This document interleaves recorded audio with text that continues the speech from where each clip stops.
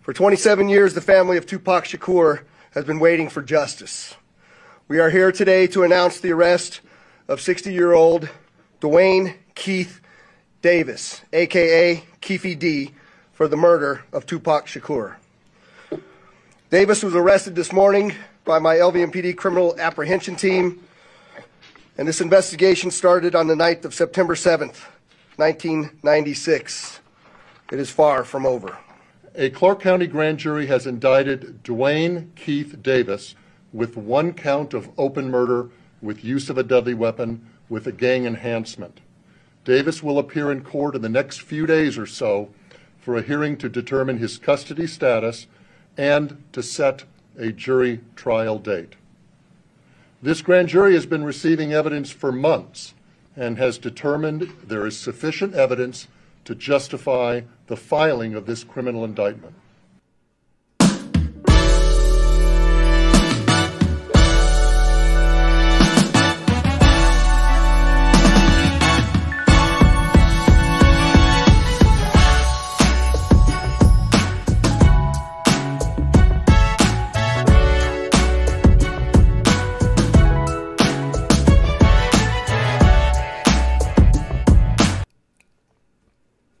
What's up, everybody? And you are listening to the best of the Media Mic Radio Show. I'm your host, the Media Mic Speaks, sponsored by New Justice Media, where we are the voice of the everyday citizen. The time is now 30 minutes past the hour here in the Lone Star State.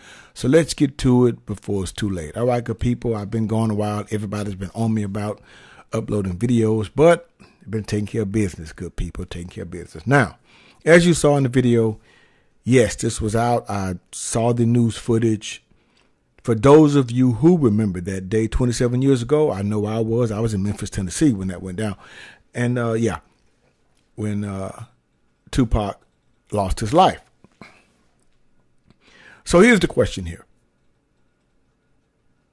Why did it take so long? Number one. Number two, will Puff Daddy, aka P. Diddy, aka Sean Puffy Combs, be charged.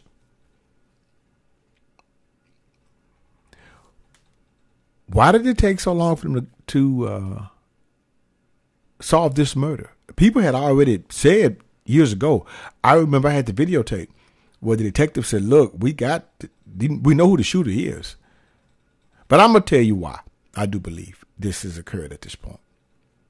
Because as you saw in the video, yes, an arrest has been made in the 1996 shooting death of Tupac Shakur. Now, Duane Keith D. Davis was taken into custody by Las Vegas police early Friday, 27 years after the crime was committed, and charged with murder with use of a deadly weapon with gang enhancement.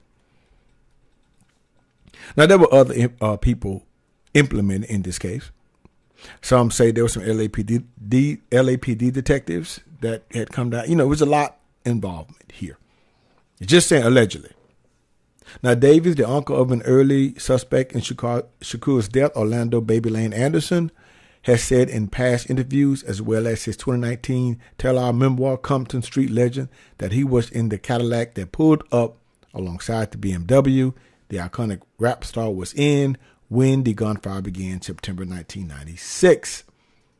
In a 2018 BET interview, Davis implicated his nephew, who had been in an earlier confrontation with the rapper at a casino, saying Anderson was one of two people in the back seat where the shots were fired. Ultimately, however, it is Davis being held accountable because Davis said in the book that he was the shooter. You see, we're going to talk about that too, the idiot. Now, for 27 years, the family of Tupac Shakur has been waiting for justice. Clark County Sheriff Kevin McMahill as you saw, said at a Friday news conference, while I know there's been many people who did not believe that the murder of Tupac Shakur was important to this police department, I'm here to tell you that is simply not the case, unquote. Now, now, you know, that night after they went to the Mike Tyson fight, uh, Tupac got into it with a gentleman at the casino, Orlando, and somehow, you know, Tupac won that fight. No one knows why Tupac picked the fight. No one knows. You know, uh, uh, you know, unless those who were there who know. So As you, uh, in case you did not know, he was struck four times, including twice in the chest. He died six days later on September 13, 1996, at the University of Medical Center of Southern Nevada, after his mother, Afeni Shakur, consented to have him taken off of life support. Now, since 2002, detectives have said this dude, Baby Lane Anderson, at Compton Southside Crip, gang member, was the one. But here's the thing how did P. Diddy get involved in this? Where does he fit in all of this? Well, the thing is, P. Diddy, Puff Daddy, I, am so used to calling him Puff Daddy, supposedly had a hit, put a hit on on both Tupac Shakur and Suge Knight. One million dollar bounty. Yeah. See, detective said this. Detective Greg Kading that Sean Puffy, Puff Daddy Combs put a $1 million hit on both Tupac Shakur and Suge Knight, following the highly publicized rap beef involving himself and Biggie, you know, Christopher Wallace, aka Christopher Wallace. Kading claims the music mogul had close gang ties in LA and hired Crips member Duane Keith, Keith D. D. Davis to carry out the hit. Now, was Faith Evans aware of Tupac's murder? Well, it's that's used to the uh, widow of A.K. Biggie Smalls, in the late Biggie Smalls, I mean, says she knew about uh, his plot to kill Tupac. After the West Coast rapper was murdered, D claims that he contacted Diddy and Evans let him know they were responsible for the death. So here's the thing: if the word did P Diddy pay the bounty? Did he pay the bounty? Now, I think what put the nail in the coffin for this guy, Keith, is that he went on Vlad TV. He went on Vlad TV and subsequently was paid twenty thousand dollars. I do believe at that time it was um, a couple of years ago, and he was paid some more money on some other speaking engagements, running his mouth, and he wrote the book. So most likely he was one of his fifteen minutes of fame and won his time in the limelight. Rule number one: keep your mouth shut. You had a lot of things going on here. Never should have gone on that interview with Vlad TV.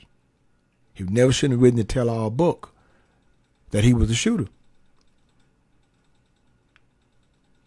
Now, will Keith implement Sean P. Diddy Combs in the hit? That's the question. The million dollar bounty. Will he sing? Will he sing like a canary? Will he tell all who's implemented? The ones that still alive, that is. Here's the thing 30 years subsequently, just about, most of the people are deceased. You see how these investigations go? All of a sudden, what evidence you have now that you didn't have back then? That's the question. You subsequently had a suspect. So all of a sudden, you have pretty much 30 year old evidence to come forward. Think about it, people. Think about it.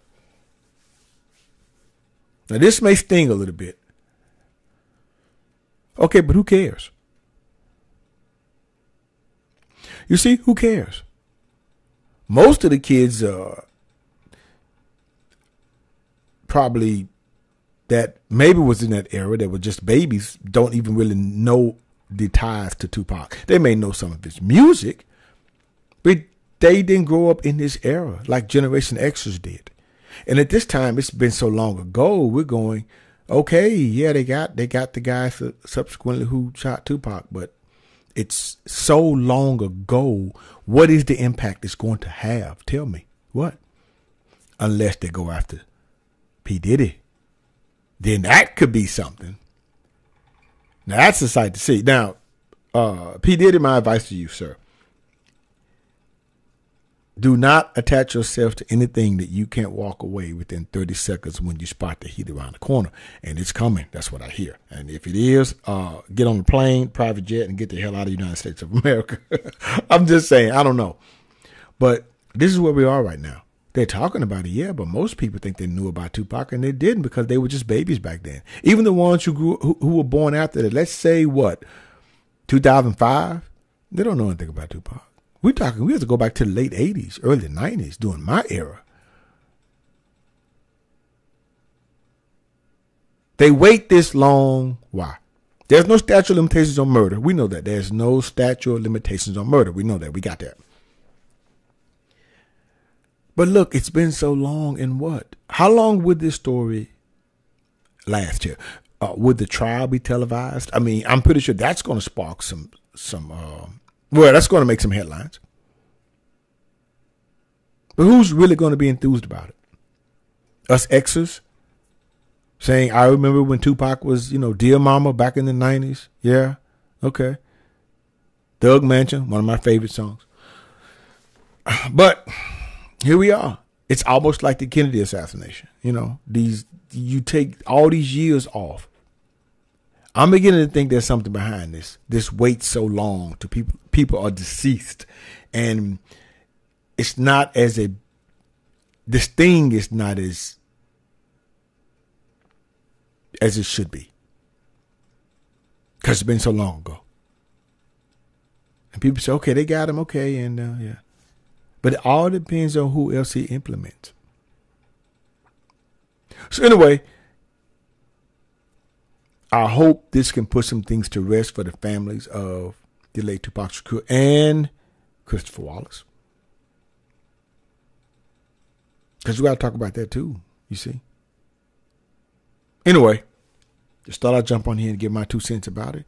But is this the end of P. Diddy? Will Keith sing? Will P. Diddy be implemented? Will he be charged? That is the question. Let's wait and see. Until next time, this is your guy, Mr. Educator, Mr. Communicator, Mr. Free Thinker. Subscribe, share, and like to keep me rocking on the mic. Have a good night. Understand you soon, it won't be long. Keep on, keep on.